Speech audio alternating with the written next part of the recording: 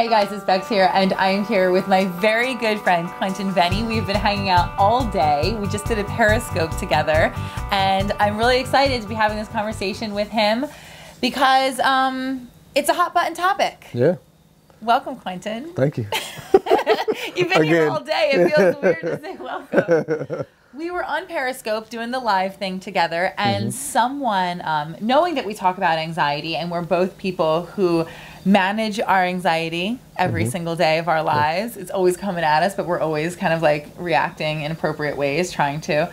Um, they wanted to know that if medication is ever the answer, and if them taking medication is wrong. So I wanted to talk about that. Yeah. It's like I a big elephant in important. the room. Yeah.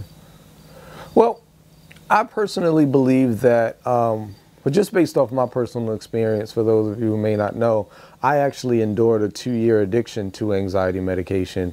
Um, and it was an addiction that ultimately uh, led to an overdose, an accidental overdose, and it almost killed me on multiple occasions. So um, I'm a little biased when it comes to uh, medication Yeah. because I don't feel like um, is I don't feel like medication should be the first rule of defense in combating a mental health disorder. Okay. I think I mean, there are other fair. alternatives. I don't think that's biased. I think that that's um, knowledge and experience that you gained from having gone through it. Yeah. Same as me. I mean, I was on different medications starting from the time I was eight years old when I was Mm. uh, first given lithium, which is crazy. Now that I think about it, it's like eight years old, but you know, the resources weren't really there. They really didn't know how to treat children with um, mental health issues. Hmm. So it was lithium and then myriad other medications over the years and what it did for me was just dull my senses and make me feel like I wasn't myself. So I wasn't able to be creative. I wasn't able to relate in relationships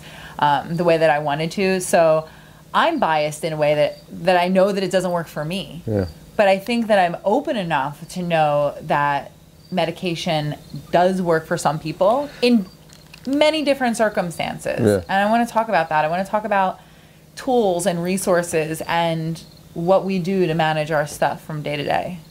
Yeah, I, I mean, I, I agree totally. I'm not completely closed-minded to the idea of uh, of people taking medication. I mean, I, I work with people uh, on a regular basis who you know who use medication, and that's their that's their thing. Yeah. But uh, out of everyone that I deal with, about 90% of people don't like the way that medication makes them feel. Right. They don't feel like it's as, as effective as their doctors initially said that it would be. Right. Um, and that was the problem that I had with it. So I feel like, um, you know, even if you are on medication right now, I'm not demonizing you or telling you to, to not take the medication, but look into other alternatives like what Bex and I uh, uh, in, indulge ourselves in mindful uh, meditation, uh, nutrition, and dietary changes, Right. um, our yoga practice. Um, even someone mentioned something today about uh, going to a therapist.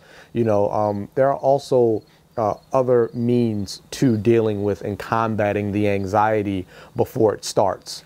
Well, this is this is an important part, uh, an important point that came up during the Periscope today was that um, anxiety is a symptom, right? Yeah. It's not the problem. It's a symptom of something that's going on deep down inside of us. Maybe it's it's covered so deep that we wouldn't even recognize it if it showed itself to us.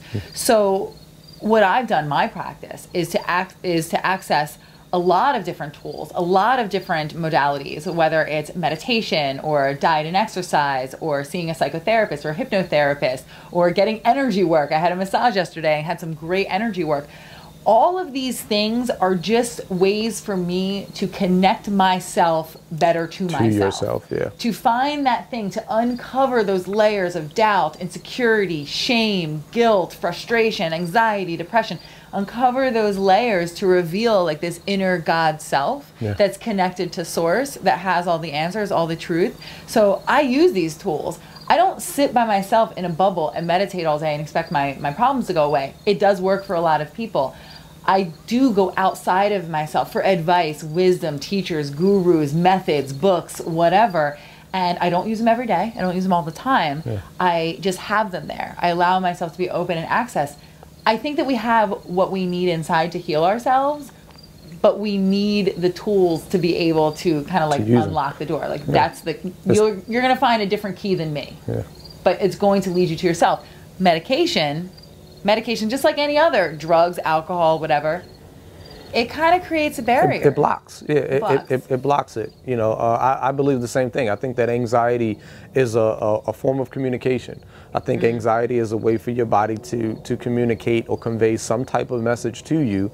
It's up to us to be open enough to receive what that message is. I love that. I love anxiety as a means of communication. My girlfriend Alex Jamieson, she talks about cravings yeah. and women and their cravings, and she says cravings are a way of our body communicating with us.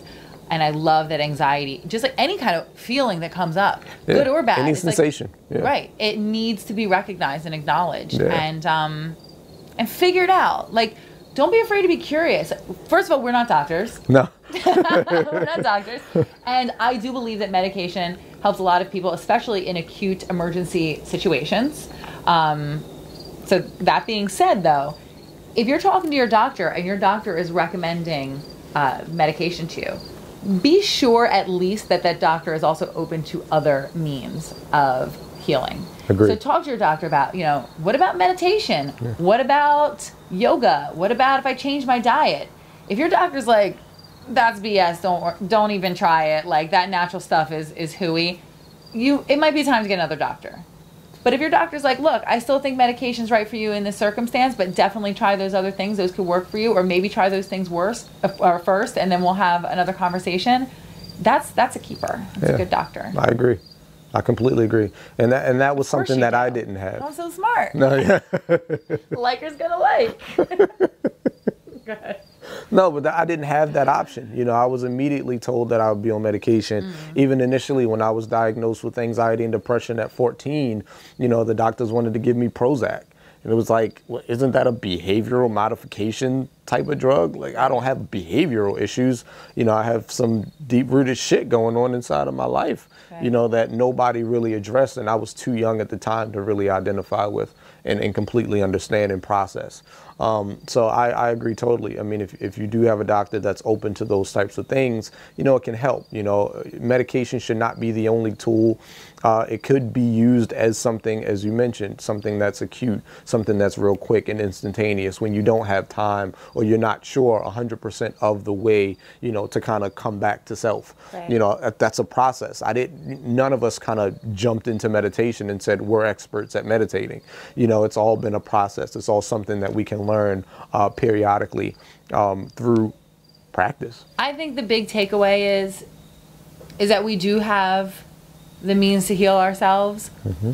But part of those means are asking for help, seeking greater knowledge that's outside of yourself, seeking greater wisdom, using the tools that we've been given. You know, we're here in this this world to to experience other things, not to live on an island by ourselves. Yeah. So and to believe, believe in the possibilities, believe in your ability to make that happen. Believe yeah. in miracles, believe in manifestation, and don't just go with the first rule of defense by some person who doesn't know you specifically, right. just knows the textbook definition of what these things look like, because it could be wrong. So it's belief slash faith? Yes. Action? Action. Very important.